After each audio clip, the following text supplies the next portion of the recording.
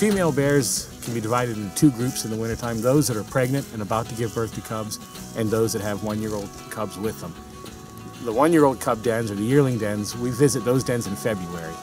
So February conditions can be, you know, pretty tough. We, we're probably standing on two and a half feet of snow right now.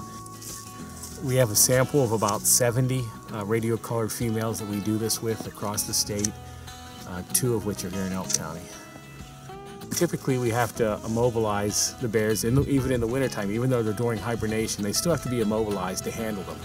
Um, they're capable of running from the den, defending the den, so if you want to ear tag cubs or, or handle the animals, you have to at least chemically immobilize them.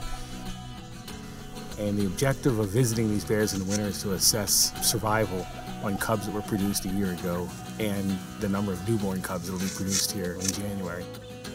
This particular bear was radio collared actually on September 11th, 2001. And so she has been wearing a radio collar for almost 14 years. And we have been to her den now 14 consecutive winters to do the same type of monitoring. So this particular bear we saw a year ago in a den um, in the similar area as here. She had three cubs last year. We ear tagged all three cubs. She's 18 years old at the moment.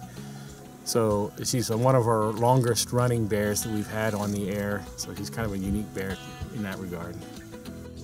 But in this particular case, uh, the den was open enough that we could actually count the number of yearlings that were there, verify that none were missing. We could see that they all had ear tags. So there was no reason to really handle those bears. We, we got the information we needed without disturbing them. So we just looked in with a flashlight, counted how many yearlings were present, so that was the main purpose of today, is to, to come and verify how many of those cubs are still alive.